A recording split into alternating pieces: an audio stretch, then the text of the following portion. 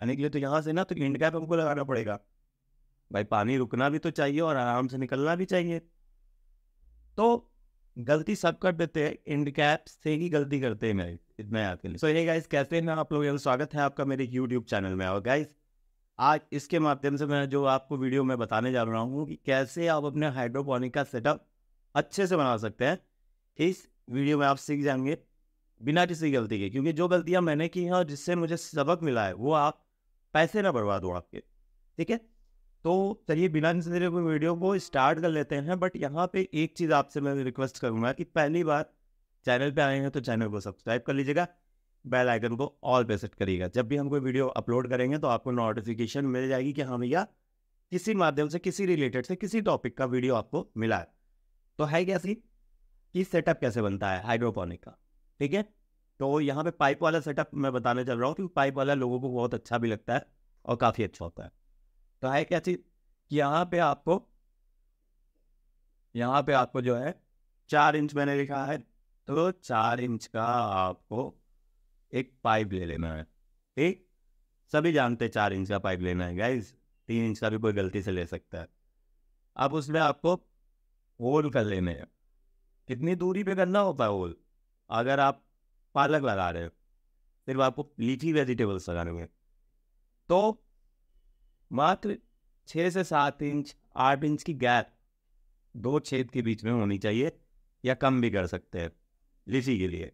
लेकिन लीची भी इतनी स्ट्रांग अगर उग गई, जैसे मैं लगाता हूँ तो उसके लिए थोड़ा सा गैप बढ़ा दीजिए। और अगर टमाटर वगैरह लगा रहे हैं तो फिर उसे कम से कम दस इंच से ऊपर कर लीजिए, बीच का जो होल होता है। ठीक है? अब है क्या सीन कि आपने होल कर लिया है? अब आप सारी चीज़ें समझिएगा। आपको उसमें जो ये इस तरह से कप होता है ना, यहाँ होल होंगे होल होंगे ऐसे ऐसे बने रहेंगे, नेट कप तीन इंच का लेना होगा। अब यहाँ पे दूसरी पाइप में बना के दिखा रहा हूँ आपको।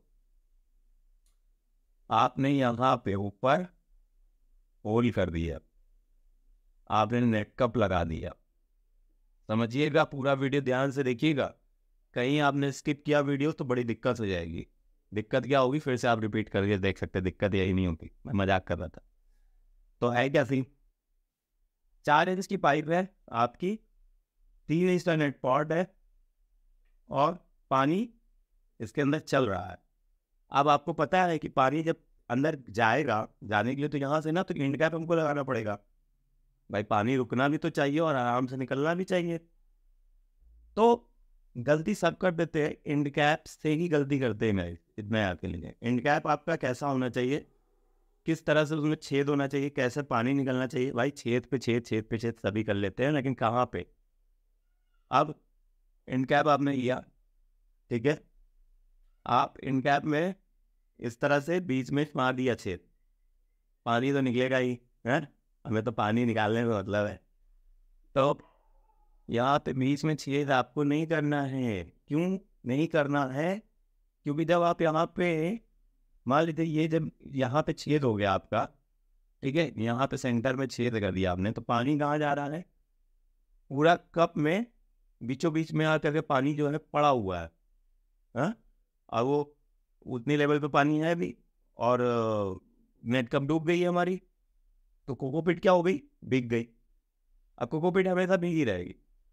तो देखिए मिट्टी में पौधे इसलिए सड़ते हैं क्योंकि उनको ज़्यादा पानी मिल जाता है, तभी सड़ते। तो अगर जहाँ भी ज़्यादा पानी मिलेगा तो पौधे सड़ ही जाएँगे ना भाई? तो हमको उनको सड़ाना नहीं है ना? स्टार्टिंग में। बड़े हो जाते हैं तब तो स्ट्रांग हो जाते हैं। कहीं भी फेंक दो भैया बच्चे को। तो है क्या सीन कि आपको इन कैप में नीचे छेद करना है? कितने पे? आधे इंच ऊपर ही छेद कर लेना है और दोनों साइड करना है। क्या होगा कि जब हमारा इंड कैप में यहाँ पे यहाँ पे नीचे में छेद रहेगा, ठीक है? तो पानी का एक लेवल रहेगा और निकल जाएगा? अब यहाँ पे अब मैं बड़े में करके आपको बता देता हूँ। ये आपने नेट कप लगा दिया, ठीक है? छेद आपने यहाँ बना दिया, नीचे। अब यहाँ पानी भर दिया। नेट कप में पानी सड़ भी नहीं रहा है और पानी निकल भी रहा है। तो यही चीज़ करनी है। अच्छा आप ये सोच रहे हैं कि जब नहीं सट रहा है तो यहाँ से पानी ऊपर कैसे जाएगा? उसको गीला कैसे होगा कैसे होगा? तो है क्या चीज़ जब आप एक नेट कप आप ले लेते हैं यहाँ पर, छेद वाला, यहाँ पे तो उसमें आपने सुना होगा डिबरी दिया बत्ती जो होती है, वो तेल में डूबती है और ऊपर तेल जलता है। तो यहाँ पे भी आपको एक जो कॉटन का कपड़ा होता है कॉटन का थ्रेड धागा मोटा वाला होता है, वो डाल देना है, लगा देना है। मैं लगा के भी बताऊँगा आने वाली वीडियो में, मैंने पहले भी बताया। तो उसमें जब आप धागा लगा करके छोड़ देंगे स्टार्टिंग में तो पानी में डूब जाएगा धागा पानी में धागा गया। अब पानी में धागे से वो पानी पकड़ करके ऊपर आ गया नेट पॉट में तो वो नमी बन गई नेट पॉट के अंदर। और आपका पौधा जो है वो सर्वाइव कर गया। अब पौधा धीरे धीरे क्या होगा? उसकी जड़ भी नीचे ही आती रहेगी, नीचे आती रहेगी। ठीक है, नीचे आ गई। आप पौधे डायरेक्ट जो है जड़ के फाते रह गए और वो जो डोरी लगाई थी सड़ गई है ना सड़े जो भी है। हमारे काम तो बन गया ना। पौधा भी बड़ा हो गया। अब चल रहा है। तो है क्या सीन कि छेद आपको एंड कैप में बीचों बीच नहीं करना, नीचे करना है, ठीक है? और जो आप स्ट्रक्चर बनाते हैं, मान लीजिए जो ऐसे स्ट्रक्चर आप बना रहे हैं, यहाँ पे इस तरह का कुछ करके, ठीक है? तो नीचे यहाँ पर ऐसा कुछ सिस्टम बनाएगा कि उसका ढाल ऊपर नीचे सेट हो सके, ठीक है? थोड़ा सा इक्वल भी रहेगा तो भी चलता है, लेकिन थोड़ा सा तो हमको भाई एक तरफ़ ऊँचा, एक तरफ़ हल्का तो माइन्यूट सा रखना ज़्यादा नहीं, पानी निकले अब पानी का फ्लो भी कैसा रहेगा? ठीक है, आपको पतली वाली पाइप लेनी है, जो जिससे लेबर लोग, मिस्त्री लोग लेबर नहीं निकालते, वो पौन इंच से पतली वाली पाइप उस पाइप का यूज़, मैंने लगा के रखा है, उसी पाइप का यूज़ करता हूँ, उसी में पानी जाता है। तो धीरे धीरे पानी जाएगा, धीरे धीरे निकलेगा। अब एक बार में पानी अगर इसमें इतना प्रेशर पे डाल देंगे तो पाइप में अंदर पूरा पानी हो जाएगा और निकलेगा भी नहीं तो ये क्या होता है ना, मेरे साथ बस ऊपर से पानी फेंकना चालू कर देता है।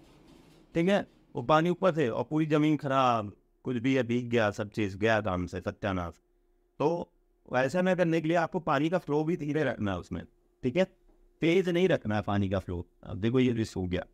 मैं इसको सही कर लेता हूँ, एक सेकेंड सो गाइस यहाँ पे आप देख रहे हैं कि ये हमने पाइप में जो एयर कैप लगाया था, उसमें यहाँ पे चेक कर रखा। कुछ लोग जो है रिड्यूसर लगाते हैं, यानी कि तीन इंच से कम का रिड्यूसर होता है कि तीन इंच का, चार इंच की पाइप में। दो इंच का रिड्यूसर लगा देते तो उसका बीच में रहता है तो वो भी ठीक है। पानी आएगा, जितनी तेज से उतनी तेज से निकल भी जाएगा। वो लेकिन थोड़ा महँगा पड़ता है इन कैप आप लगा सकते हैं। ठीक है? अब ये पाइप यहाँ पे आ गया, यहाँ से पानी निकला। अब यहाँ पे आप जो है, क्या कहते हैं एल्बो वगैरह लगा के आगे नीचे दूसरी पाइप कनेक्ट कर सकते हैं। उसका पानी उसी स्पीड में जाएगा, धीरे से और धीरे से निकल जाएगा। ठीक है? तो ये सेटअप होता है इस हिसाब से। इसमें आपने डोरी लगा दी, सारी चीज़ें कर दी हाँ एंड कैप लगा दिया और इस तरह से ये काम आराम से हो जाएगा। तो इस तरह से जो है आप इसको बड़े प्यार से सेटअप अपना रेडी कर सकते हैं। अगर कोई चीज़ छूट रही होगी तो फिर कमेंट में ज़रूर पूछ लीजिएगा कि किस तरह से सेटअप सेटअप ऐसे ही बनता है और अगर उसको पैरलर ऐसे ऐसे सीधा, ऐसे ऐसे लगाने मतलब एक समांतर में तो भी पानी घूमते हुए सब में से जाएगा। क्योंकि पानी एक तरफ़ से फोर्स बढ़ेगा और थोड़ा सा लेवल का ध्यान रखेगा। थोड़ा सा लेवल का ध्यान रखेंगे, पानी रुकेगा भी नहीं और चलता चला जाएगा। तो सब में बराबर चलेगा, ठीक है? और ये ग्रो भी करते रहेंगे। और एक चीज़ बता दूँ, पालक लगाइए, धनिया लगाइए, मिर्चा लगाइए, कुछ भी लगाइए, तीन इंच का नेट कप लेना है आपको, ठीक है? अगला मैं बताऊँगा कि किस तरह का नेट कप आपके लिए सबसे ज़्यादा सुटेबल रहेगा, अभी वीडियो में, ठीक है? तो बस अभी के लिए इतना ही। वीडियो कैसे लगी प्लीज़ कमेंट बॉक्स में ज़रूर बताइएगा। चैनल पर नए तो चैनल को ज़रूर सब्सक्राइब कर दीजिएगा।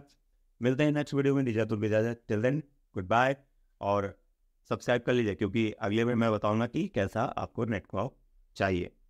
तब तक निजातुल तो टिल देन बाय